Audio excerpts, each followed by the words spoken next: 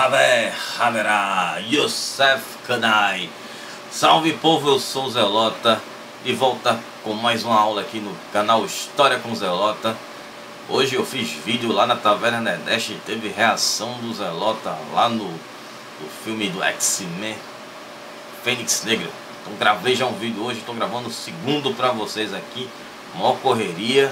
Zelota está um pouco cansado, mas mesmo assim não vai deixar de gravar vídeo para vocês. Eu faço isso porque eu gosto. Mas também me ajudem curtindo aí o vídeo. Dá um tapote nesse like aí, meu caro. E minha cara. Vocês são muito importantes aqui para o crescimento deste canal e para que eu continue estimulado a fazer vídeos para vocês, para continuar contando a história antiga, a história dos malditos romanos e outras coisas que vamos falar neste enorme cronograma e temos para falar aqui nesse canal. Porque a história ela sempre está acontecendo, né? ela não para. Hoje eu vou falar sobre o primeiro triunvirato que foi formado após a morte de Sila. Vocês lembram que na aula passada eu falei sobre o Mário e o Sila, que foram cônsules de Roma e governaram juntos a toda a República Romana. Mas aí os dois se desentenderam, houve ali uma, uma confusão entre os dois, houve um atrito, e aí eles acabaram brigando, depois Mário faleceu, depois foi o Sila, e aí ficou sem ninguém. E aí o Senado ficou lá governando. Até que surgem três generais que acabam se unindo com o propósito de governar Roma e formam o primeiro triunvirato que eu vou explicar aqui para vocês falar sobre cada um deles e o que aconteceu com cada um durante e pós esse período de governo deles. Que para começar foi o início da década de 50. Mas tem um detalhe importante. Não se esqueçam que as datas antes de Cristo eram contadas os anos em ordem decrescente. Então, quando eu falo de início da década de 50, não se espantem quando eu falar aqui em anos 59. Né? Só esse detalhe aí para começar. Ah, e outra coisa. Não esquece de seguir o Zelota lá no Instagram, hein? Arroba o Zelota para ficar sabendo das novidades do canal. E para você que curte uma cultura pop e gosta de nerdice, vai lá na Taverna Nerdeste. Vou deixar aí também o card em cima. Então, esses três generais vão formar um triunvirato eles são o Crasso, o Marcos Lentilius Crasso, o Júlio César, o Gaius Júlio César e o Pompeu, que era o Máximos Pompeu Magno, chamado de Pompeu o Grande. Generais que tiveram aí experiências, muitas experiências de combate nas suas vidas. Né? Falando individualmente sobre cada um. Bom, Primeiro começando com Crasso. O Crasso ele era um banqueiro, um homem extremamente rico, considerado até naquela época como o homem mais rico de Roma. Roma passava por uma crise tremenda, causada pelo poderoso Espartaco na terceira guerra servil. E aí, bicho, todo mundo que enfrentar Espartaco morria, ele estava detonando com todas as legiões romanas que mandaram para lá. E aí Roma não tinha mais soldados, porque Pompeu estava em uma campanha na Espanha, lutando contra o povo ibérico, né, os espanhóis e portugueses, que na época eram um povo só, né, da Península Ibérica. Então chamavam de Espanha naquela época. E aí não tinha ninguém para comandar. Júlio César estava na Gália, ele gostava de ficar naquela região da Gália, estava combatendo por lá. E aí chamaram Crasso para enfrentar o grande Espartaco. Só que aí ele não era um general, ele era apenas um homem rico. Tinha interesses na política, de se tornar um senador, mas não queria comprar o cargo, ele queria merecer o cargo. E aí ele aceita, ao pedido de um senador romano, bancar este combate contra Esparta, para abafar essa rebelião de escravos. E aí ele compra as armas, armaduras e contrata vários homens para esse combate e forma a sua legião e vai enfrentar o Esparta. E aí, essa rebelião, que foi a maior revolta escravos que aconteceu em Roma, foi um grande desafio para Crasso, que não tinha nenhuma influência política. E ele foi até lá e lutou contra Espartaco e acabou vencendo, com uma certa dificuldade, ao ponto de o Senado convocar Pompeu, que havia vencido as batalhas na Espanha, para ajudar Crasso a derrotar Espartaco. Quando ele chega, Espartaco já havia morrido e Crasso havia mandado crucificar todos os escravos que estavam fazendo parte daquela rebelião. Poucos escravos escaparam, né? E ele mandou derrubar todas as árvores que haviam ali próximo para fazer cruzes e crucificar esses escravos por toda a via Ápia até Roma, para mostrar o que aconteceria com qualquer escravo que voltasse a se rebelar contra o seu senhor. Só que aí Pompeu ficou com as glórias dessa vitória, sem ter ao menos levantado a espada. E claro que Júlio César, que também estava lá no meio, ficou muito revoltado. E o Pompeu ficou com toda a moral porque ele estava com as primeiras legiões. Lembrando, como eu já contei para vocês, a primeira, a segunda, a terceira legião eram as mais poderosas. Crasso estava com a quarta legião e foi a que combateu Esparta. Mas vamos seguir aí falando sobre os outros personagens aqui dessa história.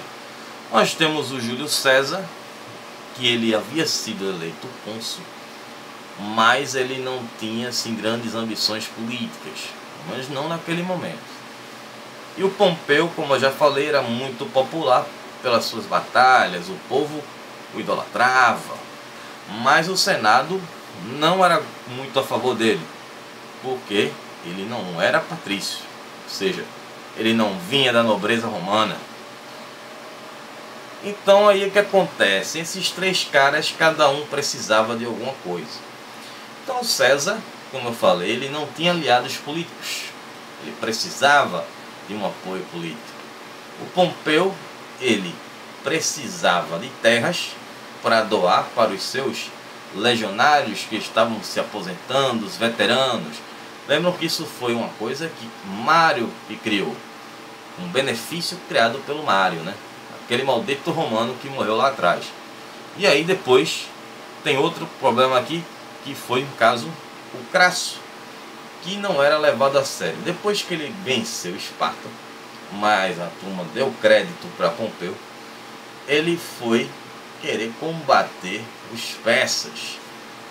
E foi um, uma batalha para conquistar o Império Parta. Esse combate ele precisava não só de dinheiro, como ele tinha gasto muito dinheiro nesse combate, essa rebelião no Espartaco, como também ele precisava contratar, trazer mais legionários e dinheiro. Essas campanhas militares eram muito caras eram muito dispendiosas para Roma. Por isso que os caras iam lá e passavam rápido em tudo, para compensar os gastos de pagar tantos homens para ir, comprar essas armas, armaduras, tudo isso, ainda mais a comida, cavalos, era muita coisa, era muito gasto essas campanhas que duravam meses, até às vezes anos. Então, eles queriam aproveitar ao máximo tudo o que eles pudessem fazer uns povos que eles derrotavam, transformavam em escravos, etc. Bom, então os três se uniram ali no início da década de 50. Só que esse acordo ele não tinha um valor jurídico, porque não era uma coisa que o Senado havia pedido, exigido e tal. Os três por vontade própria, cada um tinha interesse em alguma coisa e eles podiam se ajudar. Então resolveram formar aí esse, esse acordo. Só que para selar esse acordo de uma maneira mais ou menos a lei oficial, o Júlio César casou a filha dele, Júlia, com o Pompeu. para formar uma aliança. E esse casamento acabou sendo um casamento, de certo ponto, muito feliz. Pompeu foi muito feliz com a filha de Júlio César. E aí foi o seguinte, no ano de 59 a.C., Júlio César ele concedeu as terras que Pompeu precisava para dar para os seus legionários e ele legislou, legislou, legislou leis que favoreciam os negócios de Crasso. Então estava todo mundo ali, um ajudando o outro, uma mão lavando a outra, e aí troca César ganhou o apoio de Pompeu para governar a Gália, que era um lugar que ele gostava, né? E aí ele, além de governar, ele ia combater, mais batalhas foram as guerras gálicas, que aconteceram lá na Gália, durante esse período aí de 59 a.C. E como eu falei na aula passada, a Gália era uma região onde hoje tem a França e a Bélgica, os gauleses. Aí no ano de 55 a.C., Pompeu e Crasso foram eleitos juntos cônsules de Roma. E aí aumentaram o poder que César tinha na Gália. Foi aquele esquema. Aí Crasso conseguiu o dinheiro que ele precisava para as legiões para ir combater na batalha lá contra os persas, né? A campanha contra os persas. Aí no ano seguinte aconteceu uma lástima nesse triunvirato. A filha de César Júlia acaba morrendo, a esposa né, de Pompeu. Isso acabou enfraquecendo a relação de Pompeu com César. Né? A união dos dois, muito também por conta desse casamento aí. Em 53 a.C. aconteceu uma outra fatalidade. Dessa vez, Crasso foi derrotado. Derrotado justamente naquela, na Batalha de Carras contra os Partos, que eram o povo persa, que era uma região que ficava ali no Oriente Médio. O que aconteceu? Ele foi derrotado pelo grande comandante Surena do Império Parta, que esmagou as legiões de Crasso. Crasso mereceu o que teve. Ele subestimou os persas e cometeu um erro fatal, um erro grave, um erro bobo por ter subestimado os persas.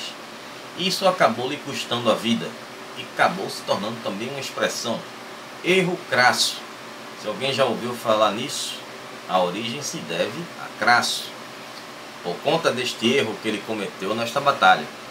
E aí, dois anos depois da morte de Crasso, Pompeu vai ser eleito cônsul único. E aí que Pompeu resolve fazer? Destituir César do poder da Gália, a querida Gália de César. Aí César, amigo, ficou muito louco, bicho. O cara se revoltou. Na, no, no rio, ali na beira do rio, na divisa da Gália com a Roma, capital de Roma, ele. Eu vou atrás desse safado, mano.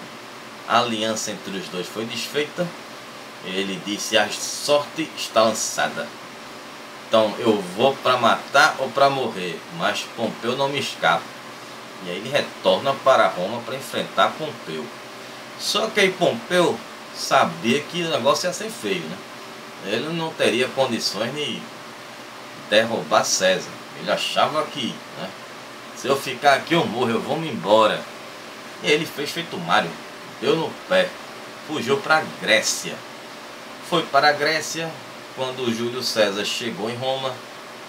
Pompeu já tinha ido embora para a Grécia e levou alguns soldados com ele. Depois da Grécia, Pompeu foi para o Egito, onde lá ele procurou um tipo de asilo político.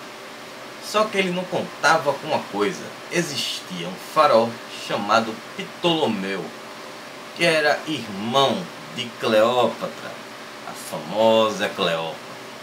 E aí Ptolomeu, quando viu Pompeu chegando no Egito, ele manda matar Pompeu para agradar César.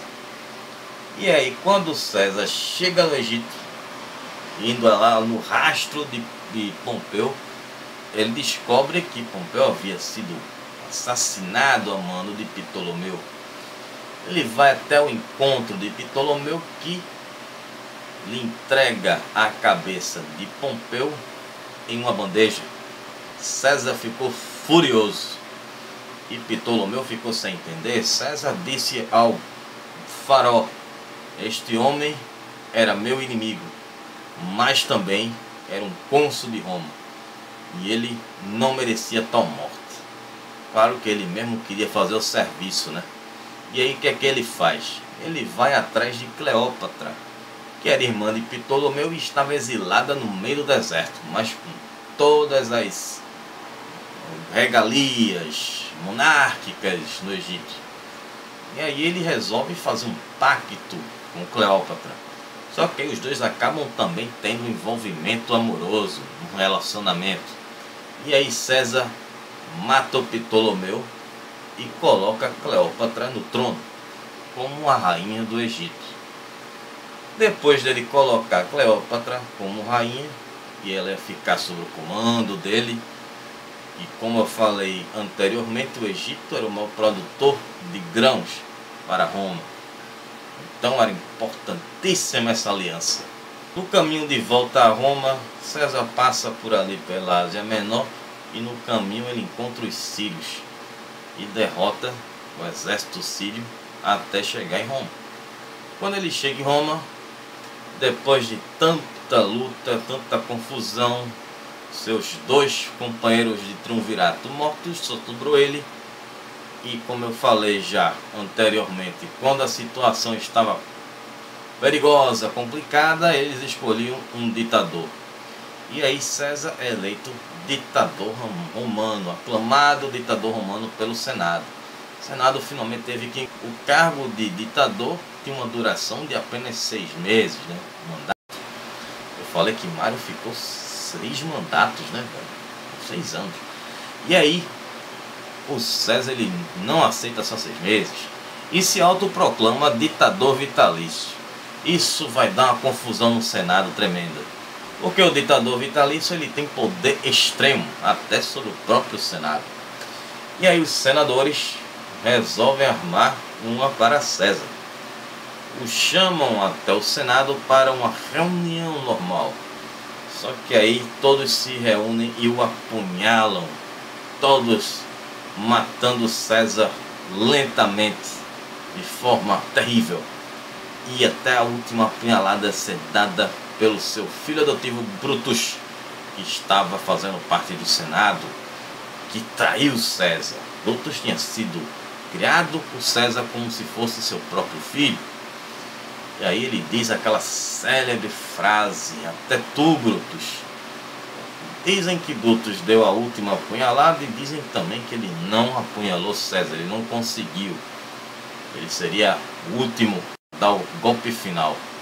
Mas aí César morre depois de tantas apunhaladas, acaba morrendo no Senado. E aí vai ter uma revolta popular enorme. O povo tinha uma certa identificação com César, gostava do, do cara.